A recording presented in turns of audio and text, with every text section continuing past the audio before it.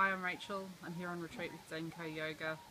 Uh, it's been a fabulous weekend. Lots of combinations of yoga and mystery activities and nutrition and beautiful food and wonderful surroundings and been a perfect rejuvenation of my spirit and, and uh, feeling really positive about the future as a result of it. So thank you.